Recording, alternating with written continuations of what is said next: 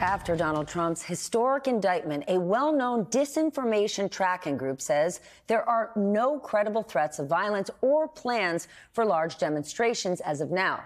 But some on the far right, including Marjorie Taylor Greene, are encouraging protests. NBC News national security analyst Frank Figliuzzi is with us. He is also the former assistant director for the FBI. Frank, you track this stuff. What do you think we're in for? So here's my uh, my caution to law enforcement and to everyone really that this is a security marathon, not a sprint.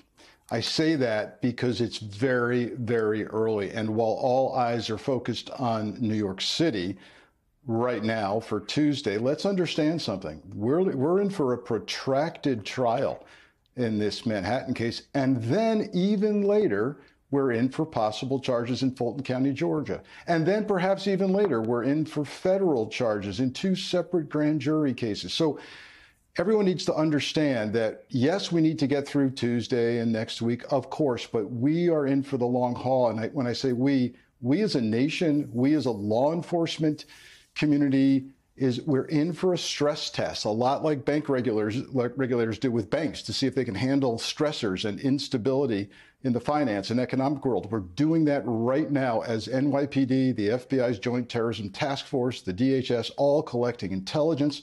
Good news, Stephanie, they've got a better handle after January 6 on the known violent extremist groups, Proud Boys, Oath Keepers, even three percenters. What concerns me the most is people riling up lone offenders. Lone offenders only have to get it right once.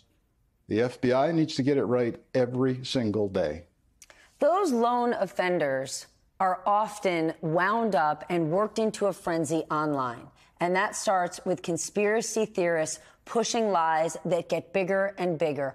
Are you watching for that now? Because there's a lot of people using the internet to come up with all sorts of explanations that make no sense for what's going on, for an indictment that, again, is sealed.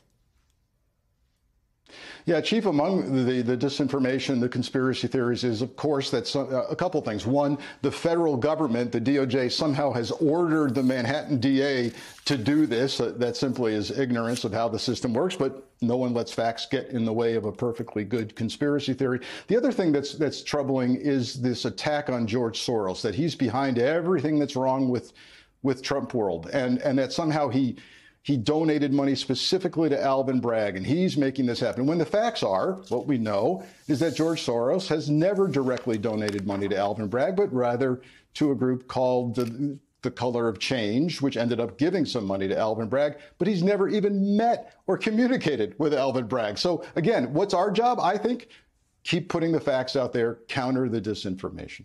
And that's why we bring you on to tell our audience the truth. Facts is what you're going to get every night. Frank Figliuzzi, thank you for closing out this very big and important week for us. And on that note, I wish everyone watching a good and safe night.